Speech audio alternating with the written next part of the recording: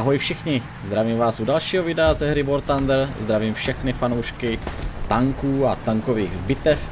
Na tento replay jsem se strašně těšil, protože, eh, jak jste jistě poznali podle názvu videa, IS-3 Štika je můj strašně oblíbený stroj, který se mi eh, moc líbí. Dá se říct, že to je taková, řekl bych, až úchylka. No a eh, ještě než se pořádně pustíme do bitvy, tak vás poprosím o lajky, o odběry, o sdílení, případně o komentáře, zda se vám moje tvorba líbí. E, taky musím ještě poděkovat všem, kteří napsali pozitivní reakce na poslední videa. Strašně si toho vážím a e, jsem rád, že můžu dodat další a další materiál ke zhlédnutí a e, že vám to udělá aspoň trochu radost. No a teď zpět k IS-3. Je to ruský těžký tank, který je na battle ratingu 7.3. Eh, tento battle rating je pro arkády i pro realistiky stejný, pro eh, simulátorové bitvy je to potom 7,7. No a matchmaking nám dal Popelavou řeku, což je uh, úplně super mapa, uh, kde tady IS-3 má poměrně velké potíže, není to úplně hodná mapa, uh, právě kvůli negativním vlastnostem tohoto stroje, které vám e, následně ještě řeknu, ale aspoň se můžeme podívat na e, stížené podmínky. Jako první bitvu e, zahrajeme realistiku a druhou bitvu dáme arkádu, tak aby ani arkádoví hráči nepřišli o zážitek ze hry. Z historického hlediska se eh, jedná o poměrně eh, smutný tank, eh, poněvadž jeho vývoj započal v prosinci roku 1944 pod pracovním názvem Kirovec 1. Vznikly vlastně dva prototypy. První měl klínovitý tvar, druhý měl věž nezvyklého tvaru na tehdejší dobu. No a tak se ruské velení rozhodlo pro kombinaci těchto strojů a vznikla z toho tato Eh, IS-3, takový, taková, řekl bych, kráska mezi ošklivými stroji. Ještě v prosinci toho roku eh, Stalin eh, posvětil výrobu a v roce 1945 v květnu, kdy tedy už končila druhá světová válka, se začalo s nějakou větší produkci těchto strojů. Podle většiny zdrojů vlastně je strojky už do války nezasáhly, objevují se ale nějaké záznamy o tom, že eh, při potlačování japonských sil ještě tyto stroje do války zasáhly, ale není to ničím podložené, jsou to spíše eh, takové řeči. No a skutečného nasazení se dočkali až v Egyptě v takzvané šestidenní válce, eh, která byla proti Izraeli a tam se e, projevily dobré i špatné stránky tohoto stroje. Předem je nutné zmínit, že tyto stroje byly opravdu vytvořeny pro evropské podmínky, pro roviny a rozhodně ne pro e, písčité duny, které jsou v Egyptě. Sovětský svaz poslal Egyptu celkem 100 kusů těchto tanků, z toho 73 kusů bylo po válce e, ztraceno nebo zničeno. E, bylo to hlavně tím, že osádky egyptských eh, sil byli opravdu, eh, dá se říct, diletanti a eh, aby si usnadnili případný útěk z tanku, tak už měli dopředu otevřené poklopy a stávalo se, že právě těmi otevřenými poklopy jim Izraelci házeli granáty dovnitř. Další velkou bolístkou tohohle stroje byl právě motor, který pocházel ještě z IS dvojek a v písčitém terénu strašně rychle odcházel, potom v dalších letech byl nahrazen uh, novějším motorem, který byl už odolný písku a uh, vlastně tank byl už uh, nazván IS-3M. Uh, ten si myslím, že by někdy mohli i zde do War Thunderu přidat, asi zase nejspíš jako eventový stroj. No a další negativní vlastnost tohohle stroje je strašně dlouhé nabíjení, eh, které samozřejmě eh, v boji proti eh, vlastně izraelským upraveným centurionům a, a petnům dělalo problém. No a v neposlední řadě bídný náměr, který tento tank má, ten dělá vlastně 3 stupně, takže je to opravdu na, na roviny, nebo když tak střílet takto, jak právě teď já, to znamená z výškové převahy. proti nepříteli. Jednou ze zajímavostí je, že tyto stroje byly nasazeny v roce 1956 v Maďarsku při potlačení povstání, ale dokonce i údajně byly nasazeny v Československu v roce 1968 při invazi spojeneckých vojsk, tak eh, i podle některých zdrojů tyto stroje se na ní podílely. Nicméně já jsem ne, nenašel žádnou fotografii, kde by přímo IS-3 byla Výroba potom těchto strojů probíhala v Čeliabinsku v Rusku od roku 1945, tak jak jsme si už řekli, až do roku 1951. Eh, celkem bylo vyrobeno 1800 kusů eh, s tím, že vlastně v roce 1960, eh, kdy Chruščov převzal vládu, tak zrušil tankovou doktrínu těžkých strojů a vlastně pak už se přišlo na plynulé MBT, to znamená T54, 55. Hlavní výzbroj tohohle uh, tanku je dělo D25T, které určitě znáte z IS-2, tak je určitě natočím v brzké době. No a uh, samozřejmě tohle dělo s kalibrem 122 mm je opravdu, opravdový strašák v této hře, protože dá se říct, že co rána, to smrt, takže je to opravdu uh, účinné dělo. Jeho nevýhoda je, jak jsem říkal, dlouhé nabíjení, to činí od 26 sekund se nezaškolenou osádkou až po 20 sekund, pokud máte ESO osádku. Já mám expertní osádku, mě nabíjení trvá 21,2 sekundy.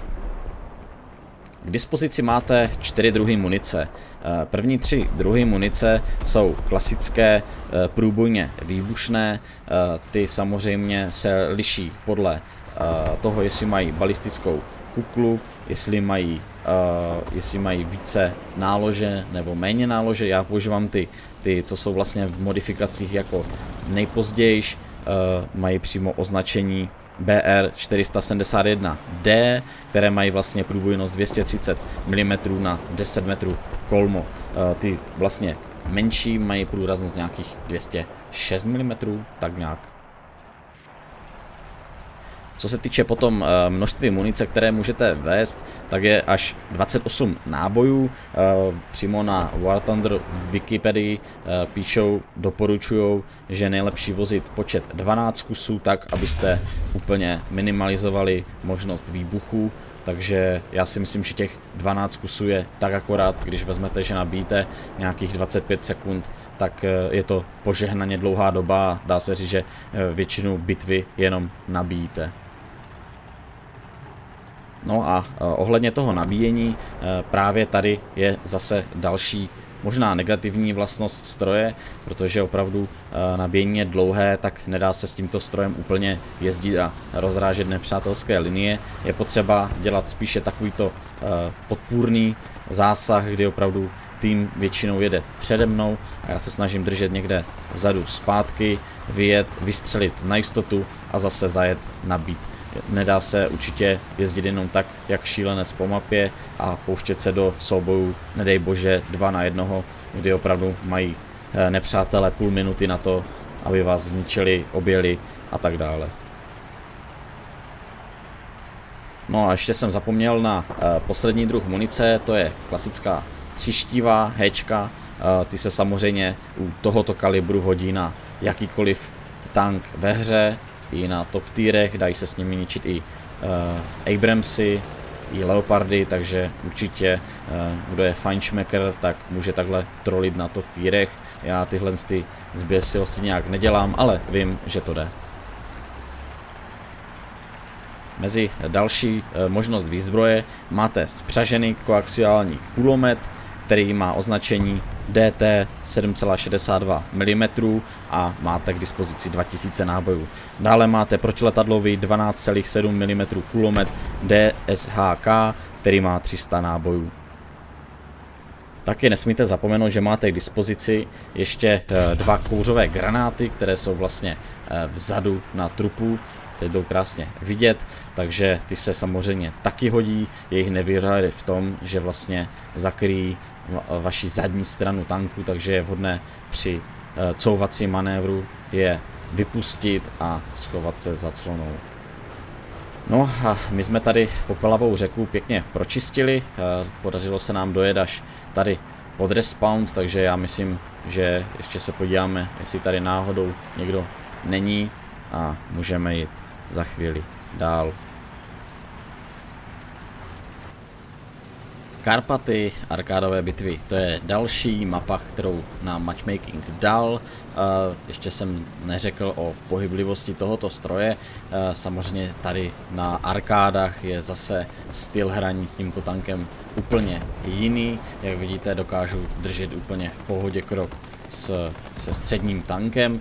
Samozřejmě v realistických bitvách uh, už to tak slavné není. Nicméně je potřeba dodat, že i tak uh, patří tento těžký tank mezi průměrně těžké stroje a, a není vůbec a, potřeba vyšet hlavu, že by opravdu a, nějakou svou pohyblivostí nestačil. Je to takový průměr a, proti a, stejně panceřovaným strojům, proti T-34 a, a různým těžkým tankům od konkurence a, si stojí velice dobře. E, problémem potom jsou stroje lehkého typu, například BVP, kdy opravdu tyto moderní munice, tyto rakety, hity, heše, to všechno dělá strašný peklo a opravdu v tu chvíli je pancíř vašeho stroje úplně k ničemu.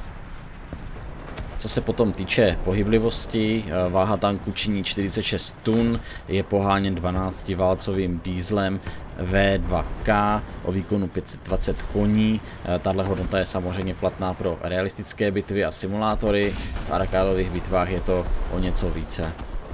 Celkově jsou jízdní vlastnosti podobné jako u IS-2, které asi všichni už znáte. Přeci jenom, ať už IS-2 nebo i tato IS-3 byla vlastně přidána do hry už v betě, takže před mnoha lety.